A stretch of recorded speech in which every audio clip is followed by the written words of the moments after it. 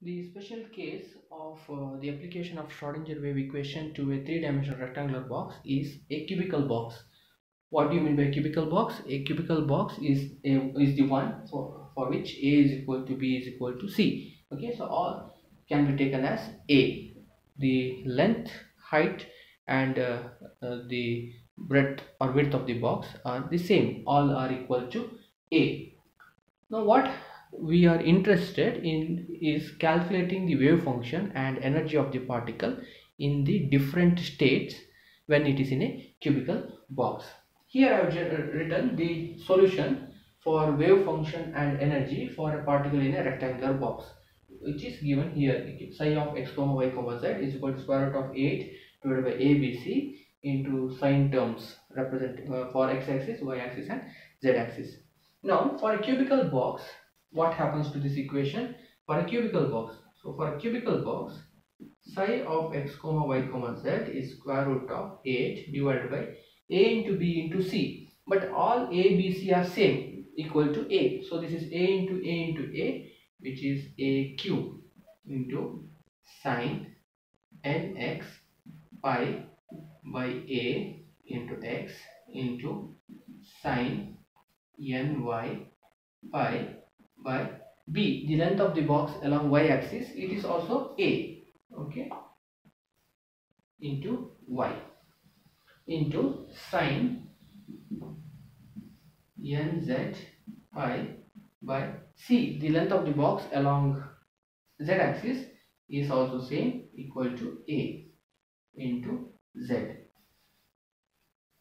Please see here i have changed the length of the box along the three axes okay from b i have replaced a. Here c i have replaced it by a. Because the length of the box uh, along all the three axes are same. It does not mean that the x-axis y-axis and z-axis are one and the same. So i can replace y by x here z by x is here. No. Okay the three axes are different. X is different from y y is different from z z is different from x. But what is same for all the three axes is the length of the region okay in which the particle can move okay so this is the expression for the wave function uh, for the particle moving in a cubical box. Similarly, this is the expression for the energy in a rectangular box. Now how this expression changes or gets modified for a cubical box. Again I have to substitute the condition that for cubical box A, B and C are same. They are one and the same equal to A. For a cubical box therefore E is equal to h square divided by 8m into nx square divided by a square no change plus ny square divided by b is now again a. A square plus nz square c is also replaced by a. Therefore the energy is you have common denominator a square which can be removed from okay I will take the common denominator and remove it from the bracket. So you get h square divided by 8 ma square into nx square plus ny square plus nz square. Okay so this is the wave function and this is the total energy of the particle in a cubical box. Now let us consider the ground state or the lowest energy state of the system. Okay? For the ground state. Okay? How do you define the ground state? We have to substitute the lowest possible values the quantum numbers can take. So what is the lowest value of nx? It is 1 ny is also 1 nz is also 1 so these values of nx, ny and nz specify the ground state of the system. The corresponding wave function, I will write it as psi 1 1. Okay. I will drop this xyz. Okay. We should bear in mind that x is when I write wave function psi, it means psi of xyz.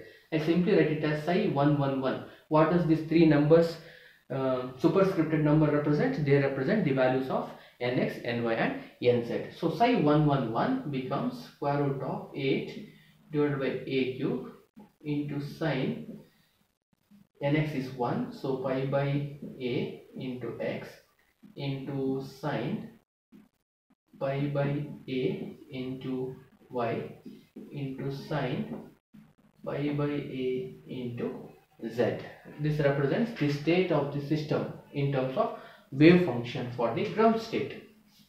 And the corresponding energy of the particle in the ground state i write e11 e111 okay as h square divided by 8 m a square into 1 square plus 1 square plus 1 square which is 3 h square divided by 8 m a square. Okay so this is the zero point energy okay of the particle in a cubical box okay which is 3 times h square divided by 8 ma square. Remember this term h square divided by 8 ma square. What is this term? h square by 8 ma square is nothing but the zero point energy of the particle trapped in a one dimensional box.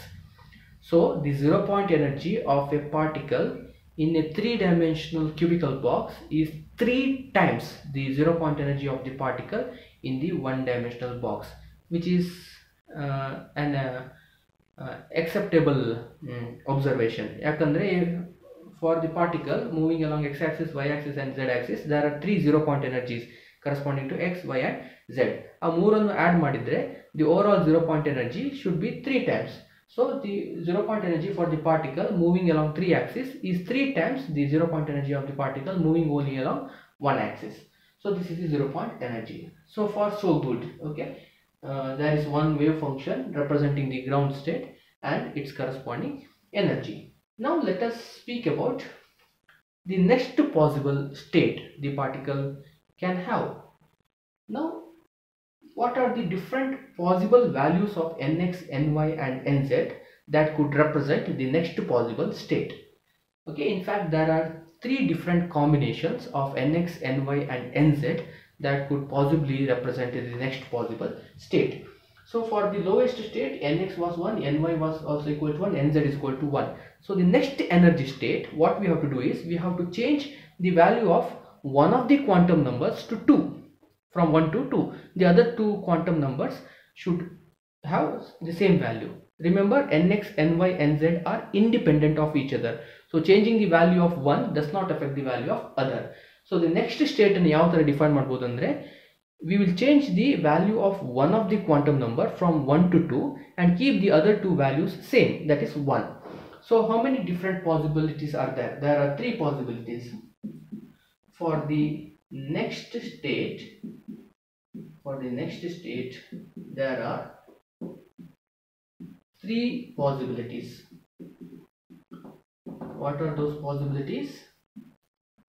Nx is equal to 2 so i have changed the value of nx from 1 to 2 but ny and nz are unchanged. Its value is equal to 1 this is one possible possibility other possibility is i have uh, changed the value of ny okay i have changed the value of ny from 1 to 2 keeping nx and nz unchanged. They are still at 1 the third possibility is change the value of nz from 1 to 2 keeping nx and ny same unchanged so there are three different combinations or possibilities okay which we generally call as 2 1 1 okay 1 2 1 1 1 2 so this is nx this is ny this is nz okay. So in the first possibility nx is 2 ny and nz are 1 in the second combination nx and nz are 1 ny is equal to 2 third combination nx and ny are equal to 1 nz is equal to 2 so there are three possibilities or three combination 2 1 1 1 2 1 or 1 1 2 now let us find out their respective wave function. For the first combination okay for the first combination what is psi 211 okay what is psi 211 what we have to do now? Substitute nx is equal to 2 ny and nz is equal to 1 so psi 211 is equal to square root of 8 divided by aq into sine 2 pi by a into x into sine pi by a into y into sine pi by a into z. Similarly for the second combination you can write psi 1 to 1 is square root of 8 divided by a cube into sine pi by a into x into sine 2 pi by a into y into sine pi by a into z.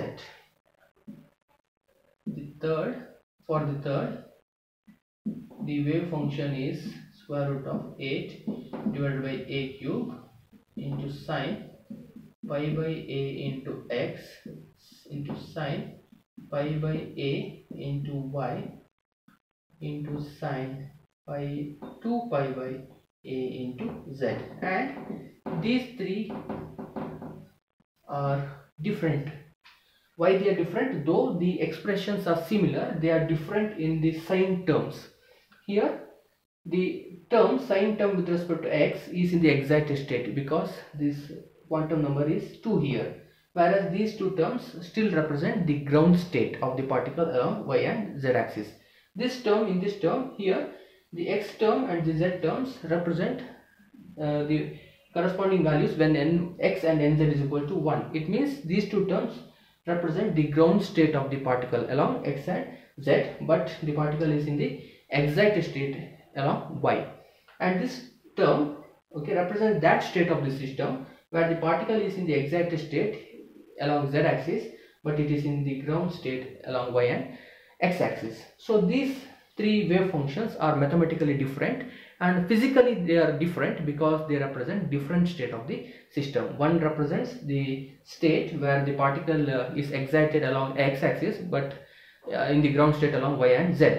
Okay so similarly second term represents the state where the particle is in the excited state along y but in the ground state along x and z the third wave function represents that state of the system where the particle is in the exact state along z but in the ground state along x and y. So they are physically different wave functions. Mathematically also they are different wave functions. So these three wave functions represent different state of the system.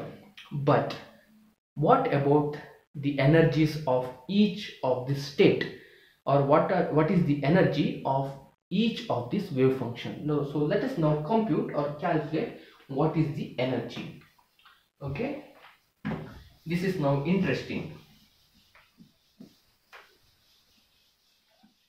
Why? Because if you look at this energy expression for a cubical box the energy is h square divided by 8 ma square into nx square plus ny square by nz square so there are two, three possible combination 211, 121 or 112.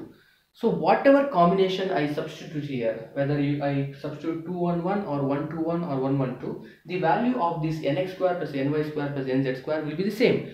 2 square plus 1 square plus 1 square is same as 1 square plus 2 square plus 1 square which is same as 1 square plus 1 square plus 2 square. So what we observe that energy of 211 state is same as the energy of 121 state which is same as the energy of 112 state which is if I substitute it becomes h square divided by 8 ma square into 2 square plus 1 square plus 1 square. Or you can put 1 square plus 2 square plus 1 square or 1 square plus 1 square plus 2 square whatever it is which is okay 4 plus 1 5 plus 1 6 h square divided by 8 m a square which you can simplify.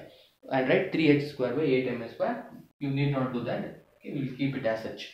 So what we observe here is a very quantum mechanical phenomenon where you have three different states of the same system. Okay three different states of the same system. Actually these are these three states are orthogonal to each other. What do you mean by orthogonal? I had defined earlier mathematically what do you mean by two functions are orthogonal to each other? So you have different functions wave functions representing different state of the same system which are orthogonal to each other. The functions are orthogonal to each other. But all these different states are having same energy.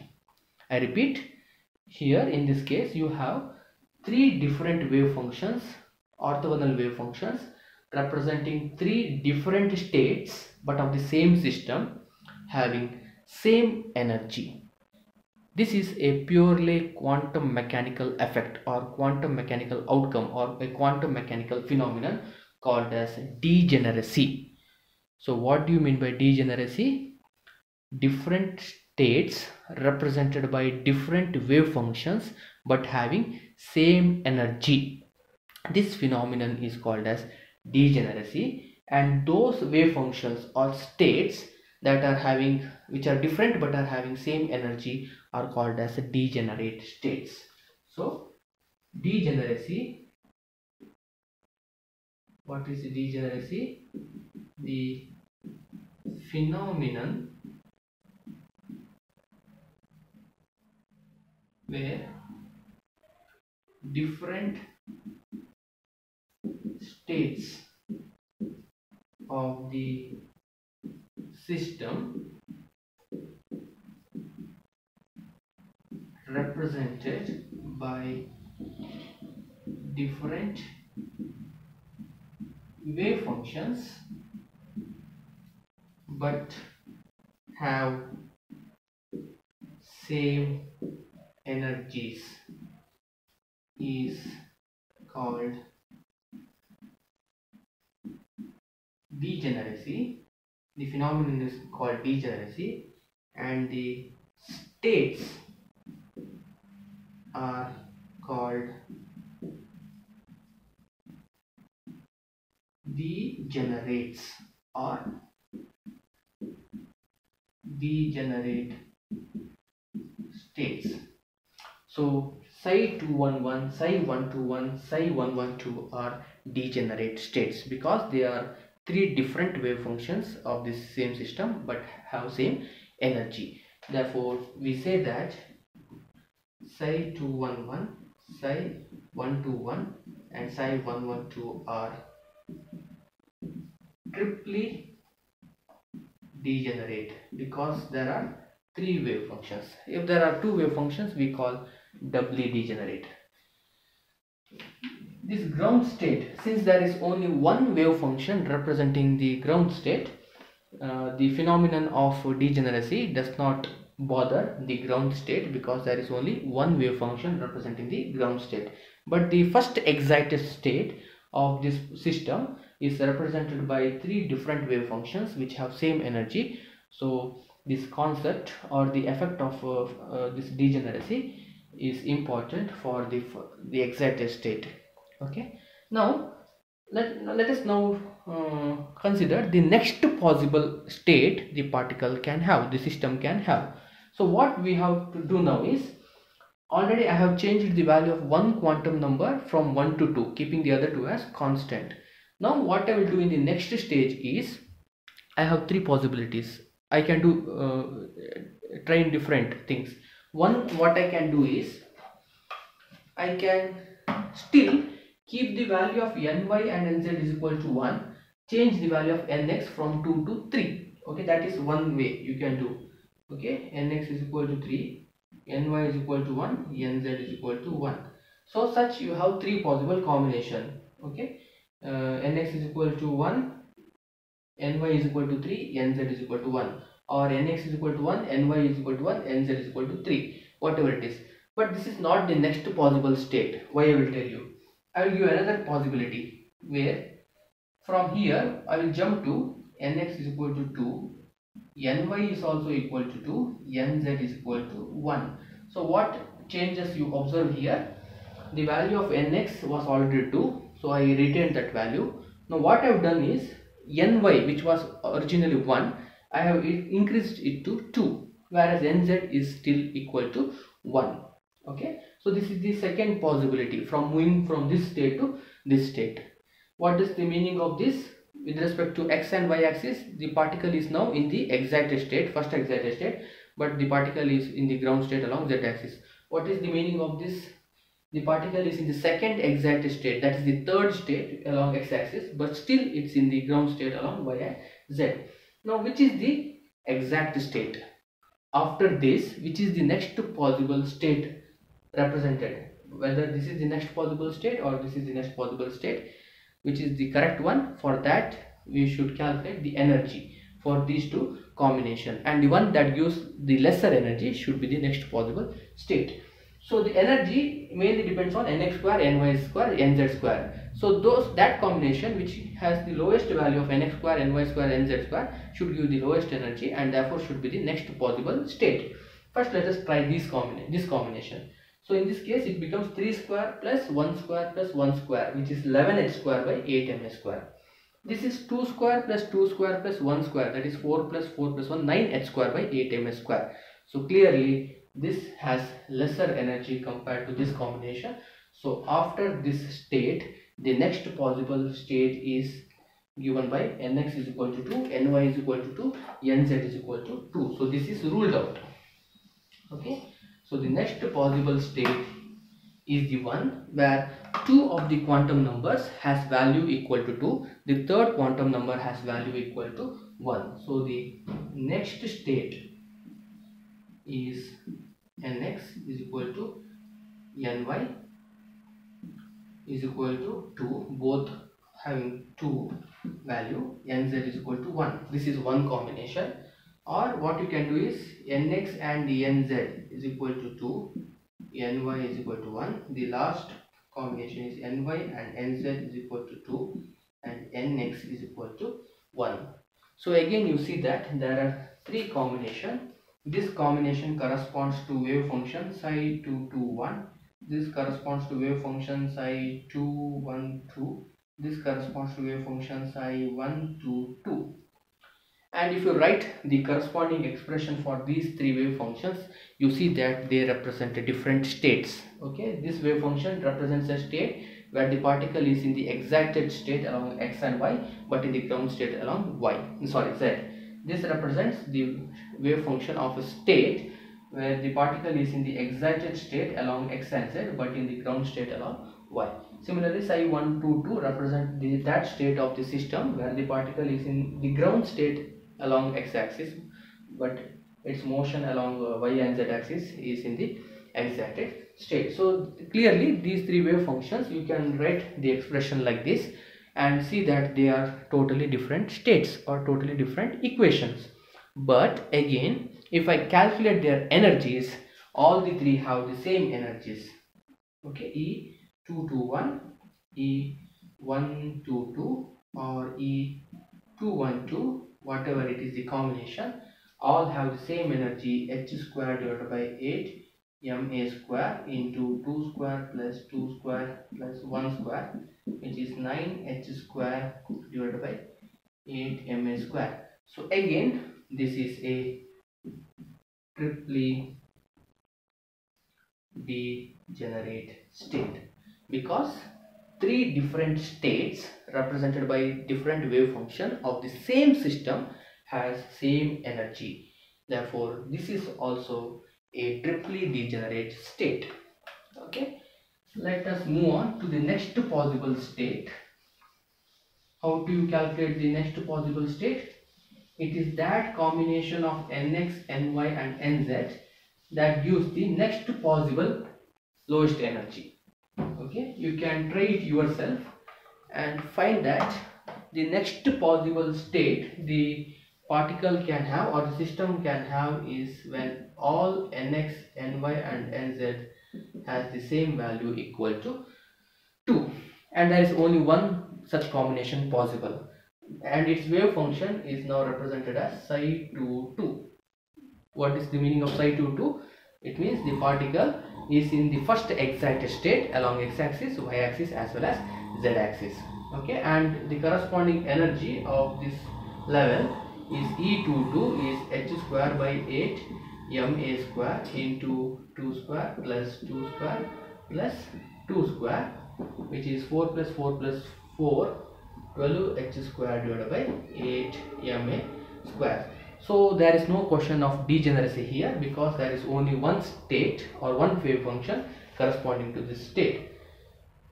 So if I plot the energy level diagram for the cubical box what do you mean by energy level diagram? It is the graphical representation or a diagrammatic representation of the energies placed in the increasing order. so the ground state that is the lowest energy is E111 and there is only one wave function representing the ground state which is psi 11 okay? The next uh, state okay there are three wave functions representing the next state.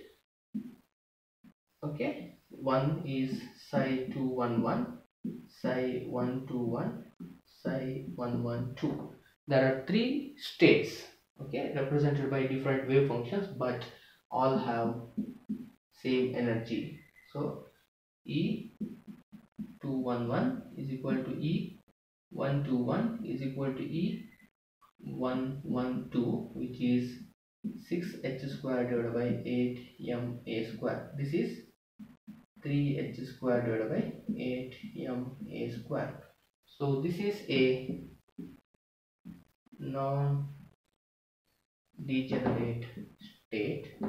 This is a degenerate state which is triply degenerate. The next possible energy level or the state is again triply degenerate. Okay? You have three wave functions representing different states but all have same energy e221 is equal to e212 is equal to e122 all are equal to 12 uh, 9 9 h square divided by 8 ma square. This is again triply degenerate. The next possible state there is only one state corresponding to one wave function psi 222 having energy E222 equals 12h square by 8 ma square. This is again a non-degenerate state. Okay similarly you can explore the next possible combination and find out yourself whether it is degenerate or not degenerate. If it is degenerate whether it is doubly degenerate or triply degenerate or more complicated degeneracy arises. Okay that is left to you. Okay uh, so what uh, is the outcome of this discussion is this degeneracy is an uh, automatic outcome of the application of Schrodinger wave equation to a cubical box. So it is a purely quantum mechanical uh, effect or uh, phenomenon which cannot be explained by classical physics or classical mechanics.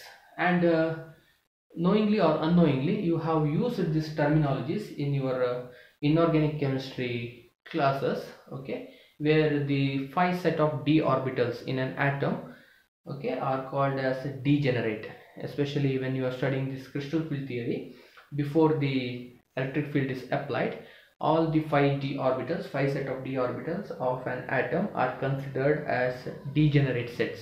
It means these orbitals are represented by different wave functions but all have same energy. And when such an atom is uh, exposed to an electric field okay that is in terms of the approach of a ligand. When a ligand approaches the metal central metal ion in different directions okay depending on the nature of the ligand and depending on the geometry of the approach in which direction they are approaching okay what happens is because of the influence of the electric field of this ligand the d orbitals interact with the electric field of the ligands in different ways depending on how these orbitals are projected in the space. So because of the difference in the interactions of these d orbitals okay they split into non-degenerate states okay two non-degenerate states. Let me not uh, drag this much okay so what i wanted to tell, is this uh, degeneracy phenomenon is a purely quantum mechanical phenomenon and it arises in the cubical box because because of the symmetry of the cubical box. The cubical box is the same along x-axis y-axis and z-axis so this symmetry because of the symmetry we have this concept of degeneracy. Okay? So this is the application of the Schrodinger wave equation to particle in a three-dimensional box. So this is for the coming class. In the next class we will discuss about the postulates of quantum mechanics. And using that postulate we will again go back to our discussion on particle in a one dimensional box and we will try to calculate some uh, um, quantum mechanical parameters such as average positions average momentum of the particle in a one dimensional box and figure out how this uncertainty principle is indeed applicable for the particle in a one dimensional box. Thank you